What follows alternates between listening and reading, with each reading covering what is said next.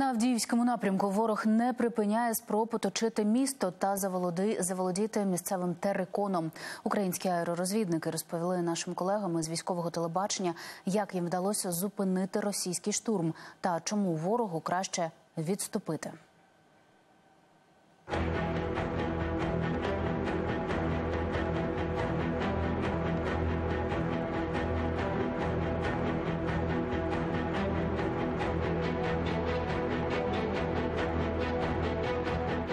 Авдіївка на Донеччині під цілодобовим вогнем. Окупанти знищують місто ракетними ударами, скидають на житлові будинки 500-кілограмові авіабомби. Ці будинки ще до цього наступу були цілі. Цей частний сектор. Це теж нещодавно ось тут було написано Бог любить піхоту. Це Авдіївка. Ми прийшлися по кварталу, е, побачили декілька свіжих вирв. Місто піддається обстрілами постійно. І реально немає жодного вцілілого будинку. Ворожа армія постійно намагається оточити Авдіївку. 10 жовтня ворог почав проводити масштабну операцію по захопленню Авдіївки. Ми приїхали до наших аеророзвідників, які коректували нашу артилерію безпосередньо в день наступу.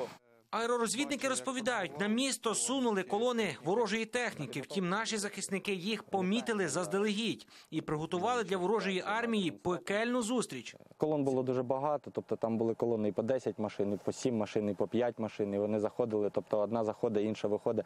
Просто техніку, тех, техніку неможливо було майже, майже порахувати. І до цього там ну, було, було таке, що там просто там виїжджав один танк, два танка за добу. І на цьому якби таке переміщення техніки великих не було. А в ці дні почалось якесь масове формування колон. Танки, БМП, артилерія підтягувалась майже, май- май- майже напередок. Захопити Авдіївку російській орді буде важко, кажуть українські бійці.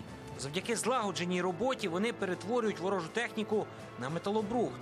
Наші хлопці справились як найкраще. Дуже багато техніки, біля якої було приходи нашої артилерії, просто розверталися і тікали. Командири російського війська впевнені, в них є шанс захопити Авдіївку на Донеччині. Та, схоже, погано розставляють пріоритети, зазначають аналітики американського інституту вивчення війни. А тому ворог поблизу Авдіївки щодня несе колосальні втрати. Михайло Манилюк, Олег Грицун, подробиці, телеканал Інтермарафон. Єдині новини.